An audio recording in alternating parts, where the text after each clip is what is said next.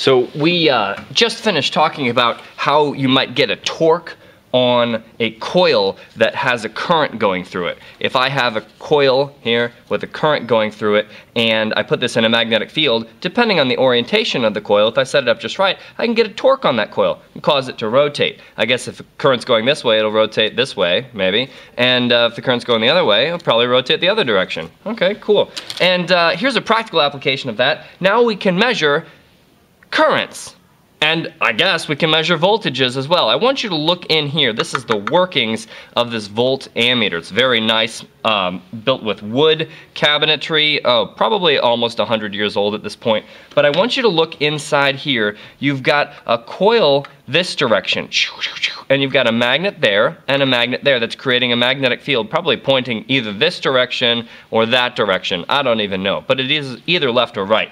There's also a spring right here.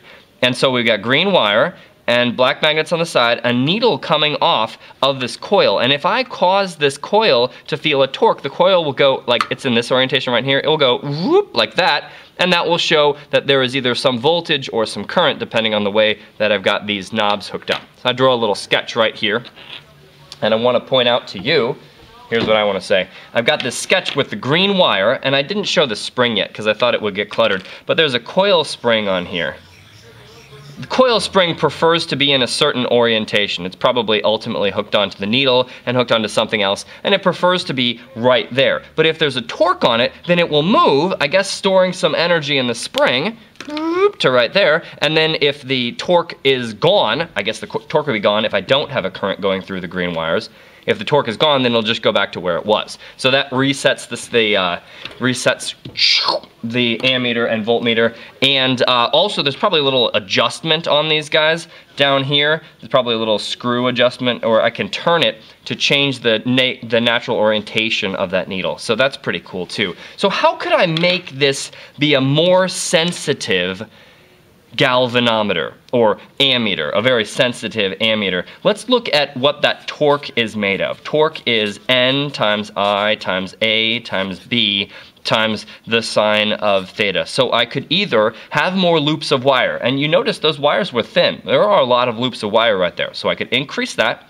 I could increase the current. Well, that's just the meter doing its job.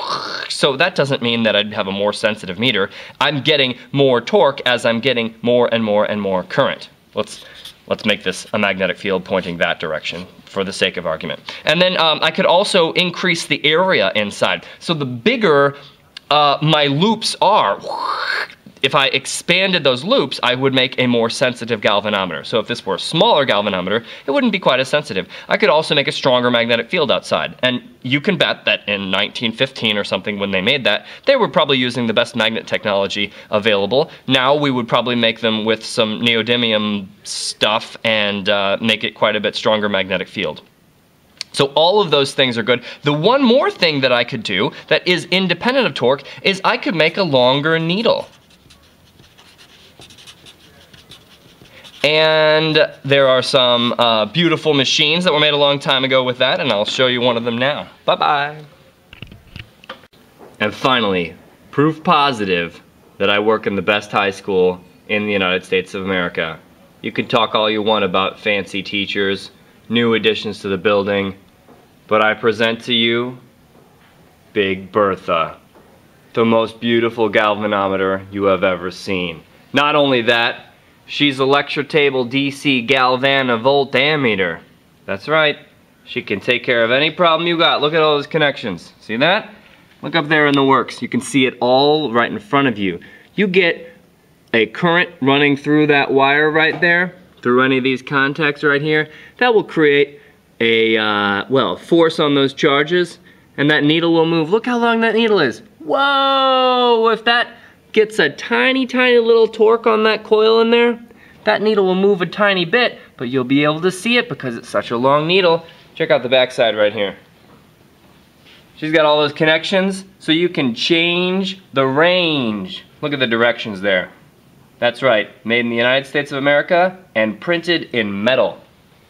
Big Bertha is the best galvanometer that you'll ever see.